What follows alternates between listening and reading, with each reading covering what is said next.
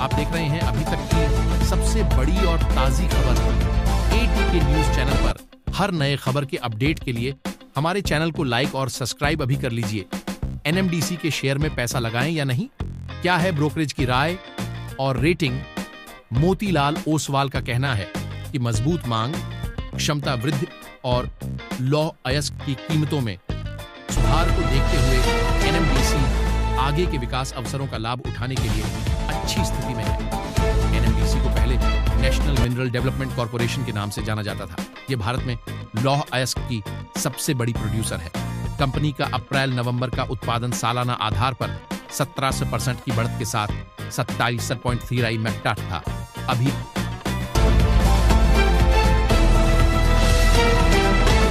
अभी बैंक को लेकर आई बड़ी खबर। इस बैंक का लाइसेंस हुआ रद्द। आपका भी खाता है तो देखें। RBI new update bank.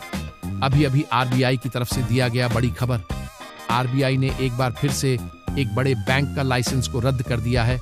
अभी अभी प्रेस कॉन्फ्रेंस में आरबीआई की तरफ़ से बताया गया है कि एक और बैंक का लाइसेंस को रद्द किया गया है, जो कि आरबीआई के गाइडलाइन को पालन नहीं कर रहा था, इसलिए इस बैंक का भी मान्यता को रद्द किया गया है।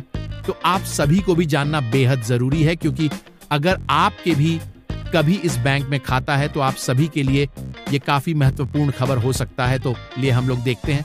तो वो कौन सा बैंक है जिसके आरबीआई की तरफ़ गाइडलाइंस पालन न होने के कारण लाइसेंस को रद्द दिया गया है?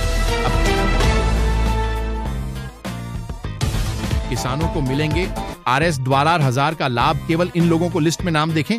केंद्र सरकार के द्वारा पीएम सम्मान निधि योजना की तरफ़ से किसानों को आर एस दो हज़ार हर किस्त के रूप में दिया जाता है। आपको बता दे कि सरकार के द्वारा साल भर में अड़सठ छठ हज़ार देने के लिए इस योजना का शुरुआत किया गया था। लेकिन अभी अभी एक बड़ी घोषणा किया गया है कि अब लोगों को दुगना कर दिया गया है। अब साल भर में छह हज़ार के बदले आर एस बारह हज़ार।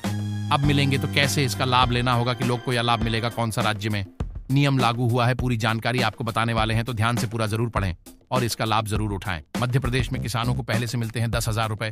पीएम किसान योजना से जुड्ढे मध्य प्रदेश के किसानों को पहले से ही यहाँ की सरकार की ओर से दस हज़ार रुपए दिए जाते रहे हैं। ये दस हज़ार रुपए यहाँ के किसानों को दो योजनाओं, जिसमें पीएम किसान सम्मान निधि योजना के तहत छह हज़ार और मुख्यमंत्री कृषक कल्याण योजना, chief minister farmer welfare scheme के माध्यम से चार हज़ार रुपए हर साल दिए जाते हैं। इस प्रकार केंद्र और राज्य की इन दो योजनाओं के माध्यम से यहाँ के किसानों को दस हज़ार रुपए की आर्थिक सहायता प्रतिवर्ष सरकार की ओर से दी जाती है।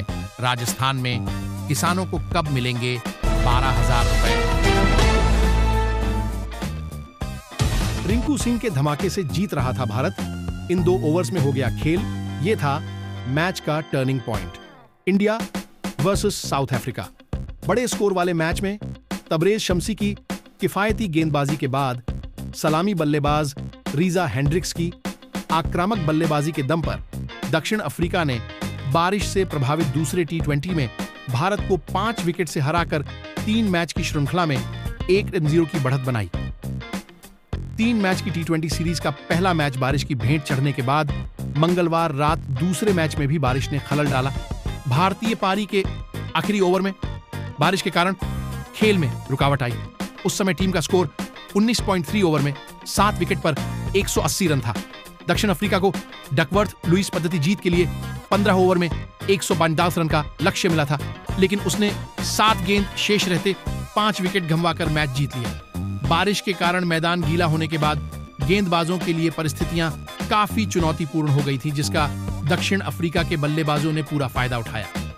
बेकार गया रिंकू का पहला अर्धशतक भारत के लिए रिंकू सिंह ने अपना पहला अर्धशतक जरा उन्होंने 29 गेंद में नाबाद अड़सठ पारी में नौ चौके और दो छक्के लगाने के अलावा कप्तान सूर्य कुमार यादव छप्पन के साथ दूसरे विकेट के लिए 48 गेंद में 70 रन की साझेदारी कर बड़े स्कोर की नींव रखी।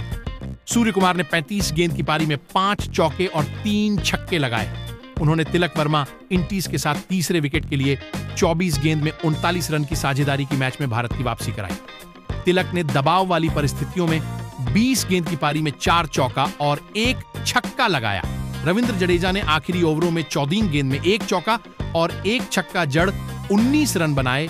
दक्षिण अफ्रीका के लिए गेराल्ड कोएजी ने 3.3 ओवर में 32 रन पर तीन विकेट लिए। Man of the match Shamsi ने हालाँकि सबसे ज़्यादा प्रभावित किया।